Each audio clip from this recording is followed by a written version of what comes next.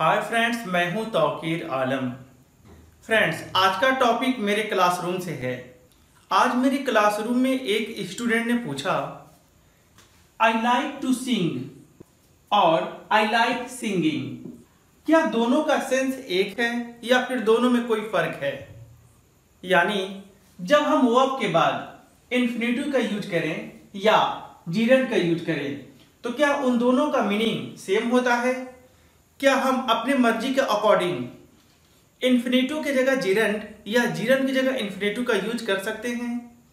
Friends सबसे पहले मैं आपसे कहना पसंद करूँगा कि अगर आपके मन में कोई क्वेश्चन है या अगर आपके पास कोई डाउट्स है तो आप बेहिचक मुझसे शेयर करें कमेंट बॉक्स में अपने डाउट्स लिखें। मैं आपके डाउट्स पर वीडियो बनाऊँगा। तो चलिए फ्रेंड्स आज के इस वीडियो में आपके तरफ़ से पूछे गए सवालों का जवाब देखते हैं। तो फ्रेंड्स मैं आपसे कहूँगा कि चार ऐसे वर्ड्स हैं, यानी लाइक डिसलाइक स्टॉप और बिगिन जहाँ आप अगर इनके बाद इन्फिनेटिव का यूज़ करते हैं तो उसका कुछ और सेंस होता है, और अगर आप इनके बाद जीरन का यूज़ करते हैं तो उसका अलग सेंस होता है। क्या सेंस होता है? आइए इस बात को बारीकी से समझें।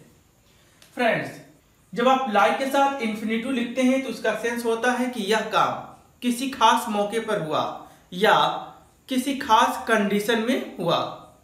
लेकिन जब आप लाइक के साथ जीरन का यूज़ करते हैं तो इसका सेंस होता है कि यह काम जनरली हमेशा हुआ या आमतौर पर रोज हुआ।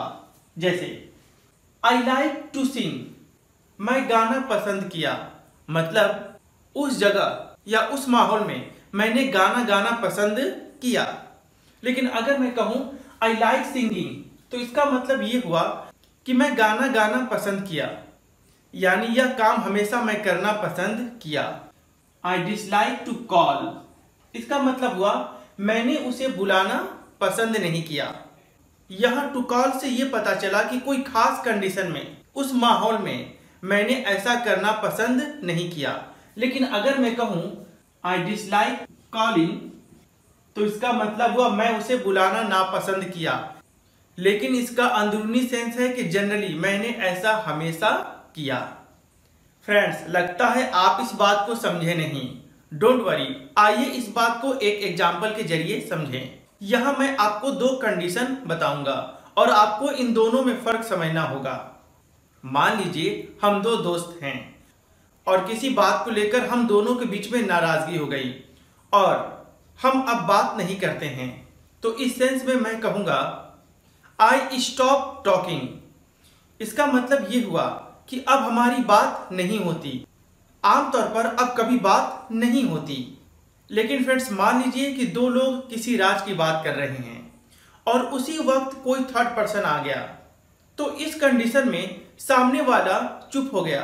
तो मैं आपसे कहूँगा ही स्टॉप टू टॉक तो इसका मीनिंग हुआ वह बात करना बंद कर दिया। यहाँ मैं ये नहीं कहना चाहता कि वो हमेशा के लिए बात करना बंद कर दिया, या वह रोज के लिए ऐसा करना बंद कर दिया।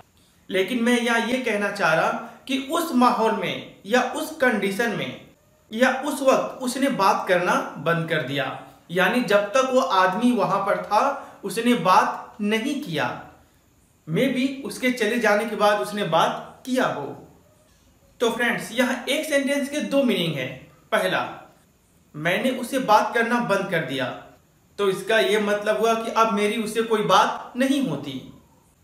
और इसका दूसरा सेंस है कि मैंने उसे बात करना बंद कर दिया, यानी उस कंडीशन में, या उस वक्त मैंने उससे बात करना बंद कर दिया। जब माहौल सही हुआ तो फिर मैंने उसे बातें किया। तो फ्रेंड्स यही फ़र्क है इन्फिनेटिव और जीरन के यूज़ में।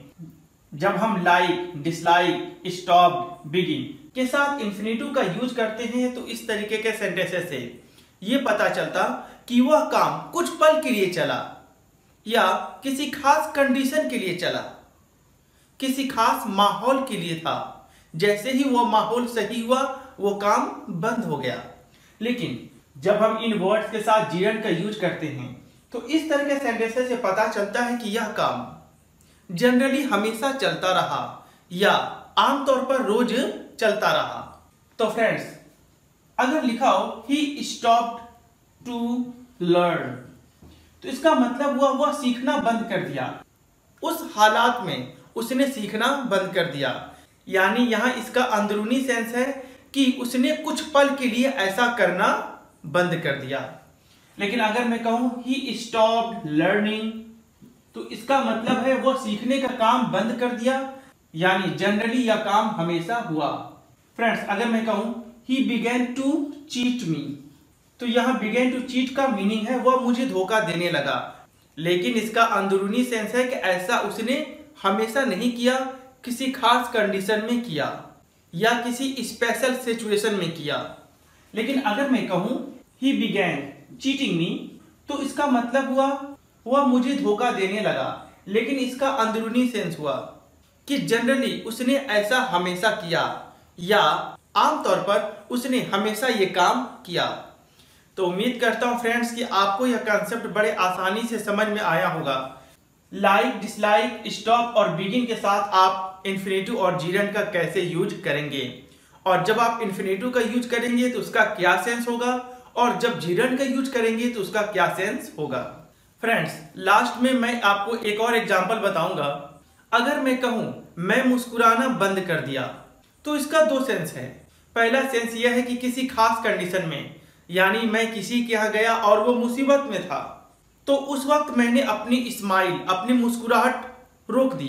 तो इस कंडीशन में मैं कहूँगा आई स्टॉप टू स्माइल यानी उस खास कंडीशन में उस माहौल में मैंने ये काम कुछ पल के लिए रोक दिया। लेकिन फ्रेंड्स हो सकता है कि किसी बात को लेकर मुझे चोट पहुँची हो और मैं हमेशा के लिए मुस्कुराना बंद कर दिया। या आमतौर पर अब मैं नहीं मुस्कुराता तो यहाँ मैं जीरण का यूज़ करूँगा और मैं कहूँगा आई स्टॉप स्माइलिंग उम्मीद करता हूँ फ्रेंड्स आपको यह वीडियो बहुत पसंद आया होगा और आप अपने सभी दोस्तों को शेयर करेंगे। फ्रेंड्स बहुत जल्दी मैं आपके लिए इन्फिनेटिव और जीरन का पूरा कंसेप्ट लेकर आऊँगा, ताकि अगर आप इन्फिनेटिव या जीरन को लेकर कंफ्यूज रहते हैं तो आपकी कंफ्यूजन खत्म हो सके। फिर मिलेंगे एक नए वीडियो में। तब तक के लिए बाय फ्रेंड्स मेरे एक सब्सक्राइबर हैं और आपका नाम है अशोक पटेल। आपने कमेंट बॉक्स में पूछा कि राइट और करेक्ट में क्या फ़र्क है। मतलब मीन्स राइट मीन्स सही होता है और करेक्ट मीन्स सही होता है। तो फिर हम कैसे जाने कि कब हमको करेक्ट का यूज़ करना है और कब हमको राइट का यूज़ करना है? क्या ये इंटरचेंजेबल है या इन दोनों में कोई फ़र्क है? तो आइए फ्रेंड्स देखें कि वर्ड करेक्ट और राइट right में क्या फ़र्क है। Word correct denotes accuracy word right more of judgement किसी के बातों से एक्यूरेसी का पता चलता है। जबकि वर्ड राइट से किसी इंसान की जजमेंट या किसी के फैसले का पता चलता है। लगता है आप समझे नहीं। आइए इस बात को एग्ज़ाम्पल में बेहतर तरीके से समझे।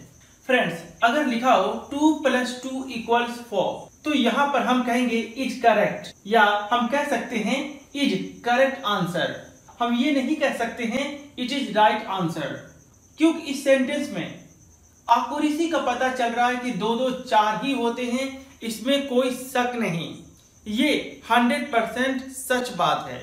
तो इसलिए हम कहेंगे इट इज़ करेक्ट आंसर या इट इज़ करेक्ट हम ये नहीं कह सकते इट इज़ राइट आंसर या इट इज़ राइट लेकिन फ्रेंड्स आप यहाँ देखें it is right to help the poor beggars गरीब भिखारियों की मदद करना सही है।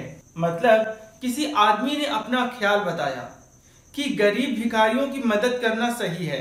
आगे वो कह रहा एम आई राइट क्या मेरा ख्याल सही है या क्या मैंने सही कहा? तो यहाँ दूसरा इंसान आंसर में कह सकता है यस यू आर राइट हाँ तुम ठीक कह रहे हो, या तुम सही हो। अब यहाँ पर राइट right की जगह पर वर्ड करेक्ट का यूज़ नहीं हो सकता, क्योंकि यहाँ वर्ड राइट किसी इंसान के जजमेंट या किसी इंसान की थिंकिंग के लिए आया हुआ है। लेकिन यहाँ वर्ड राइट से ये पता नहीं चलता कि इस बात में 100 परसेंट एक्यूरेसी है। तो फ्रेंड्स उम्मीद करता हूँ कि आपको ये बात समझ में आया होगा कि सही के लिए आप करेक्ट का यूज़ तब करेंगे जब आपके बातों में एक्यूरेसी हो, यानी सत्यापन हो, या 100 परसेंट वो बात सही हो तो आप करेक्ट का यूज़ करते हैं। लेकिन जब आप कोई जजमेंट दे या अपनी थिंकिंग बताएँ तो उस वक्त सही के लिए आप राइट का यूज़ करते हैं।